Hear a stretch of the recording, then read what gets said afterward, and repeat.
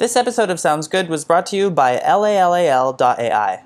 We learn to speak without really learning how we speak. Like, my voice is doing some mind blowing shit right now. But unless I really slow down and focus on what every part of it is doing, potato. Potato. I'll really have no idea what my body is doing to make those sounds. And in general, that's a good thing, because we need to be able to focus on more important things in life, like flirting with cuties or not getting hit by a car. But the voice is probably the most powerful musical instrument there is. We control the intensity and duration of our breath, the shape, openness, and stiffness of our vocal folds, and the movement and position of our jaw, tongue, and lips for every distinct speech sound we make. When I said the word coordinate, it took me about half a second, and there were 11 distinct speech sounds. Coordinate. Coordinate. And the other thing is that almost everyone has a voice, and our voices are deeply personal. Our voices come from our literal bodies, meaning that the timbre of our voices is in part shaped by our own individual physiologies. Our social experiences also play a big role in the sounds our voices make. Like, I come from the Canadian prairies, so sometimes I say stuff like, let's go sit on the couch.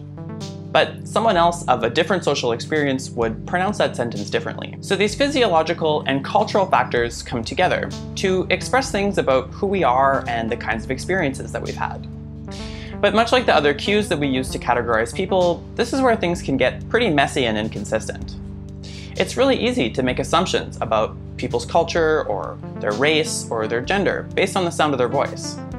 But the truth is, there's really no such thing as a Canadian voice, or a white voice, or a female voice. So our voices are intensely personal and cultural. And I think most people get that, even if we don't really think about it super consciously all the time. But the voice's incredibly detailed and varied sound making abilities are much easier to take for granted.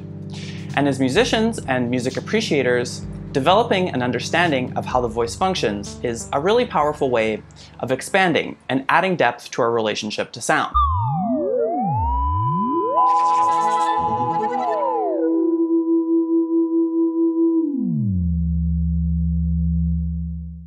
So depending on who you ask, there are either three or four main components to the voice.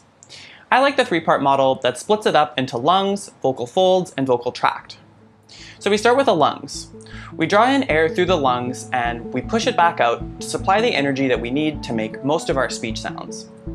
We control the amount of air we push out over time to regulate the intensity of our speech. Although it's often used in tandem with pitch, we use sudden jumps in intensity to stress certain syllables, and sometimes even change their meaning.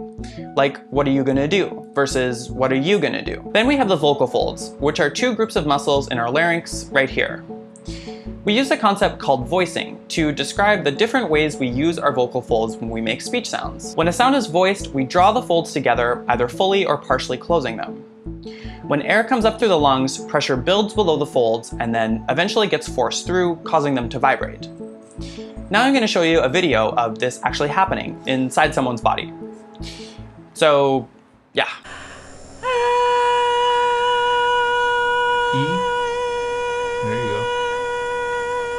So that was an example of a sound that was voiced.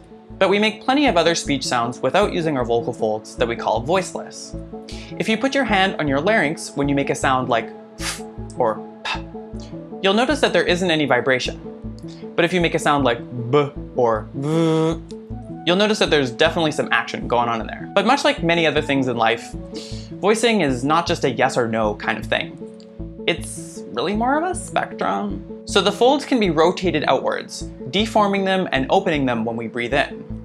But they can also be rotated inwards from that same position, drawing them kind of close together when we whisper, like this. When we make voice sounds, we draw the folds inward across the outer circumference of the larynx. One of the ways that we lower the pitch is by bringing that whole joint backwards, adding slack to the vocal folds. If we want to raise the pitch, we can bring the back part of the larynx backwards to tighten them.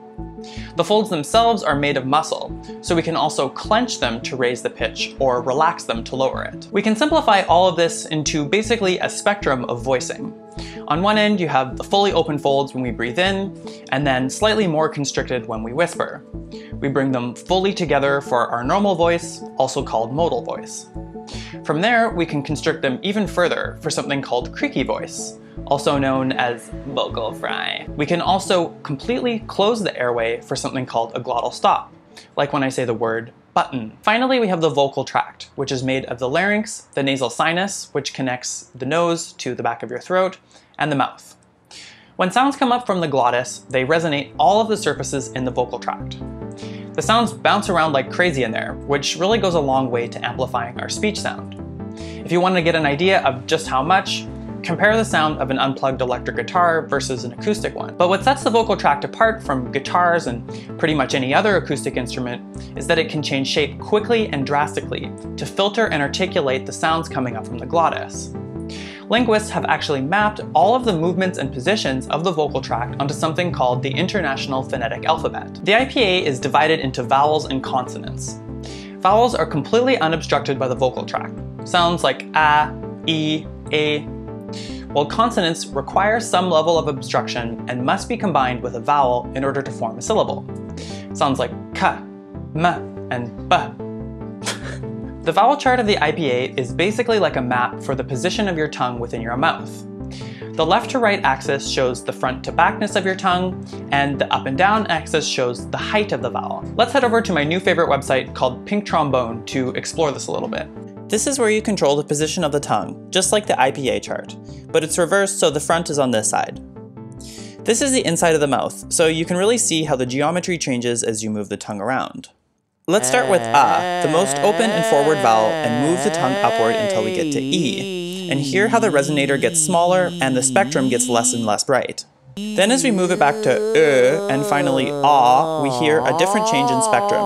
Then if we go to the middle, we'll hear more of an E. And let's take this opportunity to jam out a little bit.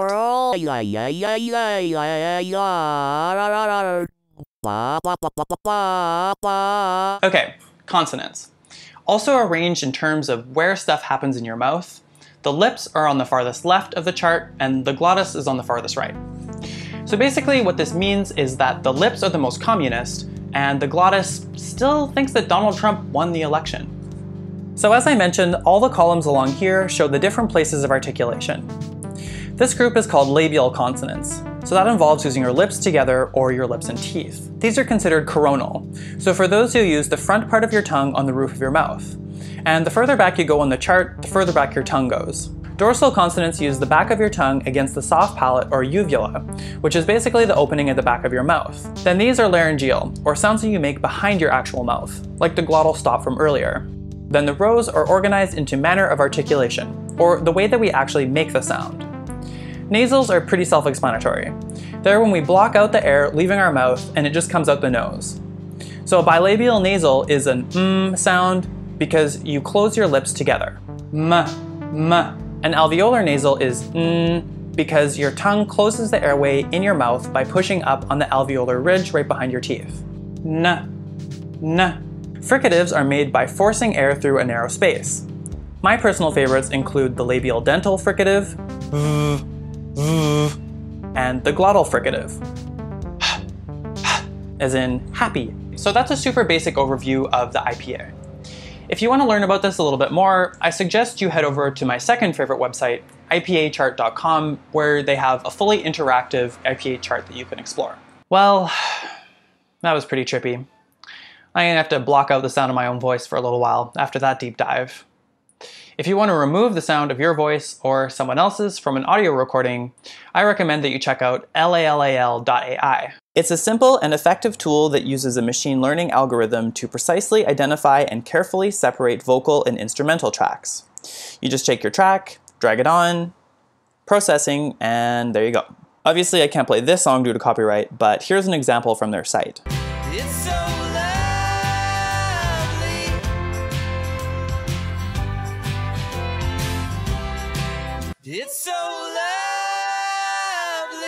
Head over to the website and check it out for yourself.